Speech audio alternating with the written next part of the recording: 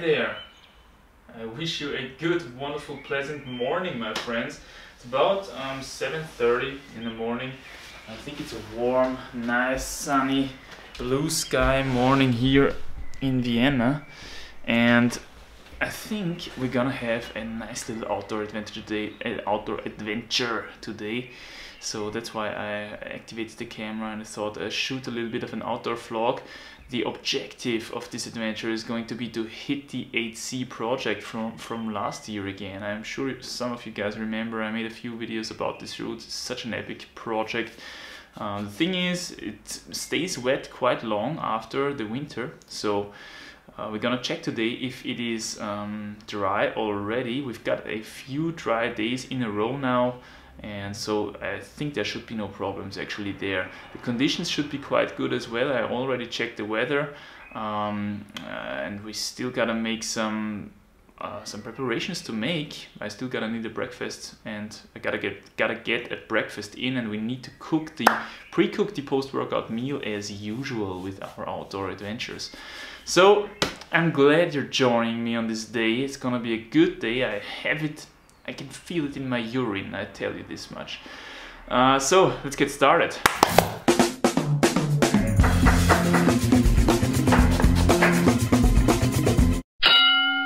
Oh, welcome back to the Efficient Cuisine, my friends. It's been a long, long, long, long, long, long, long time. Today we're gonna keep it simple, I think.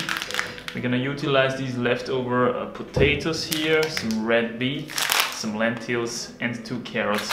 And what we're gonna do is we're gonna do a curry. We're gonna make a curry with these things with the help of these two uh, wonderful spices here. We've got tandoori masala and garam masala.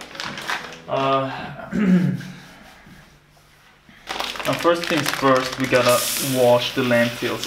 If you wanna if you want to have them a little bit more soft, even softer to your stomach, then you should actually soak them overnight, or you could soak them overnight. This is one of the advantages of these um, red lentils here. Just turning off the water here so that you can hear me. The advantage of these lentils is that they are washed very quickly and easily and also cooked very quickly and easily. So they are really practical for these kind of post-workout, pre-cooked post-workout meals uh, arrangement, so to say. Let's carefully transfer these little bad boys into the small pot.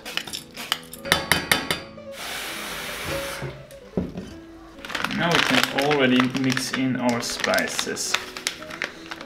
Good dose of tandoori masala. And we go with a little bit of garam masala as well, just like that. We're gonna turn the heat to high, lid on top, Alright, so next we gotta take care of our potatoes. We first gonna peel them and then we're gonna cut them into nice little cubes and add them to the uh, lentils because they take quite some time to cook as well. I'm sorry ladies and gentlemen, this kitchen is a true mess like usual. Please don't be uh, too intimidated. So we're gonna add this to the lentils. The lentil water is not even cooking yet. Alright, so the potatoes are added. Lentil water is not even cooking yet, which is awesome because now the potatoes have just enough time to catch up to the lentils. Um, and they both actually need roughly the same time to cook. So next are the carrots. You see, if you're a slower chef and a slower cutter, you could also just as well prepare all the cut vegetables beforehand and uh, just turn on the heat when everything is in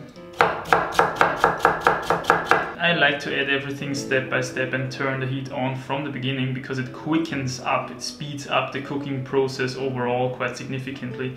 You don't have to wait all the time until the pot warms up and stuff like that because it's already warm. So let's get in with the carrots and the final step.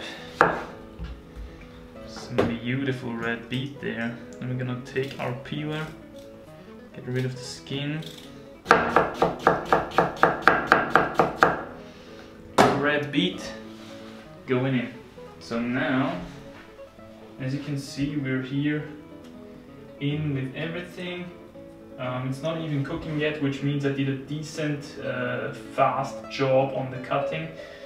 Lid on top and just wait. Now while that's cooking, uh, we're gonna take care of the short-chained carbohydrates for the quick energy, for the more quick energy, which I'm gonna utilize for my breakfast and also as a during the workout fuel. And I'm gonna go with my one of my pretty standard recipes here. We've got some beautifully ripe bananas, another slice of the red beet, and I think roughly half an apple or stuff like that.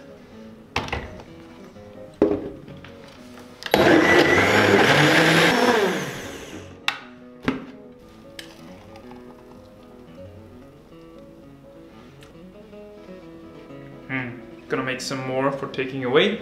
And then I think curry should be ready soon. Mm. Now that's what I'm talking about when it comes to perfectly cooked curries. Okay, I would say this is finished. Let's pack this baby up.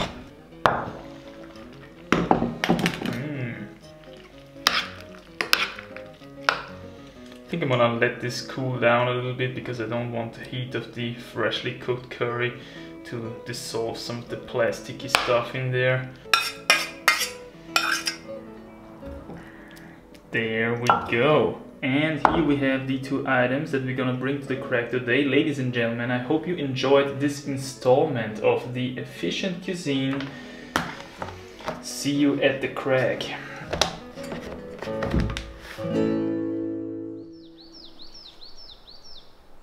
For this part of the video I'm gonna quickly jump into voiceover mode. I was kind of debating what I should do. Should I talk about the route in detail, do a little technical analysis, a little strategy explanation like in the Migraña Profunda analysis and I figured well all of that is gonna take a lot of time because this line is really actually quite complex in its nature.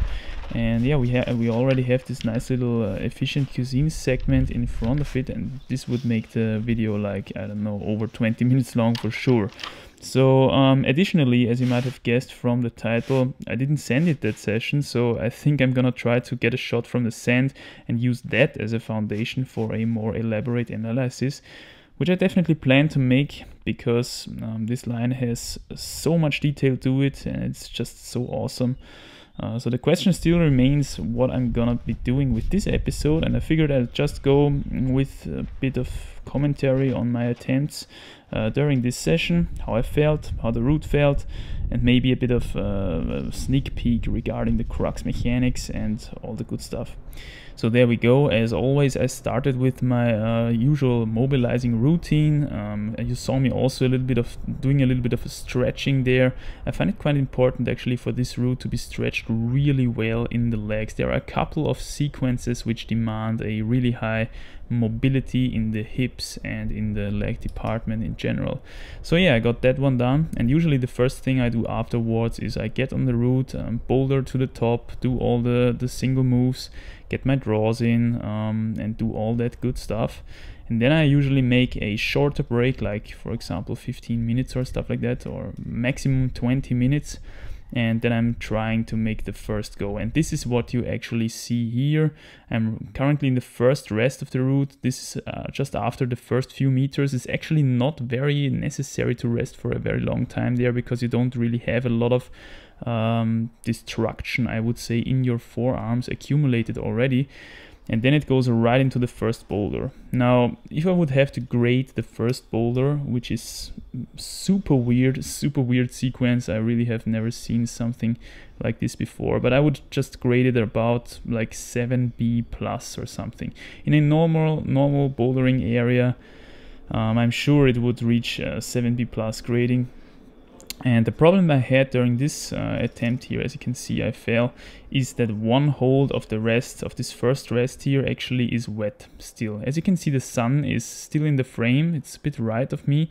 So um, like one hour ago this was still in the sun and the sun, you know, when the sun shines on a wet crag it kind of um, pushes the water back into the rock, you know. It kind of dries the, um, the rock superficially so that the, the holes seem to be dry but as soon as the sun goes out, it's getting cold again and the, the water comes back. It comes back to the surface.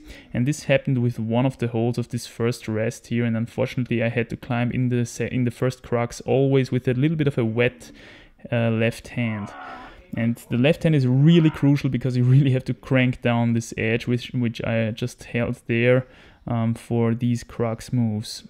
Um, but yeah, despite that, on my third go of the day, uh, which this is, so the third go including my checkout go, I managed to get over this first boulder and up until this point I would say yeah one more big move into the um, big resting hold. Um, up until this point the route should be about like 8a plus at least. I would say a super hard 8a plus or in I don't know I would I know a lot of areas where this would be already graded 8b um, so yeah, uh, I would say hard 8 plus or soft 8B. And this second rest is really, really bad. Um, the problem is it's super steep. The resting hold is actually not that um, bad. It's kind of a joggy, slopey thing, which is really sharp. So you don't need to have, you don't need to put a lot of forearm effort into it to hold it, but a lot of skin actually to hold it, which is kind of painful actually. Um, but anyway, uh, the, the rest is really bad, and I'm always debating how long I should rest. Uh, this is something that relates also to the video that I actually did recently about Migraña Profunda. Um, this is one of these rests where I'm not sure how long I should rest, how much uh, is actually destroying my pacing, you know, is destroying my rhythm. So yeah, anyway, I already entered the second crux and this is just another super crazy boulder. Here my left hand slipped off the crux hold. Um, I would say if I had to grade this boulder, it would be around, in a normal area, it would be around 7C or something, maybe soft 7C or hard 7B plus or something along those lines. Um, here again, this was my uh, third go, uh, excluding the uh, checkout go, so my fourth go of the day in total on the route. And this time it already felt a little bit better. I felt a little bit fresher a little bit um, accustomed to the moves again. And i'm starting here into the second crux again which evolves around a super crazy shoulder gaston move. As you can see here i'm grabbing the uh, the, the crux hold with my left hand and then you got your you gotta get your right foot really high and make this kind of drop knee like Gaston crossover into a super bad pinch for the right hand. And here I already had it but I didn't have it perfectly. The problem is that it really matters to get this uh, edge perfectly, this pinch perfectly to be able to make the next move. And this was my uh, fourth attempt, respectively my, my five, my fifth attempt of the day, including the checkout go. And this was actually a really, really close go. Man, I already had the I, I got the I got the the pinch with the right hand this time kinda well, but I was so pumped already. So now getting into the crux move again, and here I'm able to sort my fingers in, get my left foot up, and try to uh, make the next move, which is super hard actually as well. Um, but yeah, I fell down there. So feels really good. At this point my skin was ruined so I couldn't make any more attempts but this felt pretty pretty nice. I'm sure if the route gets fully dried up um, it should be actually possible. Um, what I did afterwards is I, I, tried the second boulder a couple of more times. I trained on it, so to say, make three, four more goes, you know, trying to climb it through, um, going back down and trying it again. And so, you know, you want to train, you want to get your crux moves in to have them really down solidly for the next time you go there. So yeah, I'm really looking forward to trying it again. I hope you enjoyed this little update on how it's going on the Big Route project. I'm feeling stronger than ever before on it, but yeah, I still need to get it dry 100% and I need a little bit more acclimatization, I guess, because of course I didn't try it for a long time now and I lost a bit of that. But yeah, apart from that, it feels really great. I'll see you soon. Close. So close. Cultivate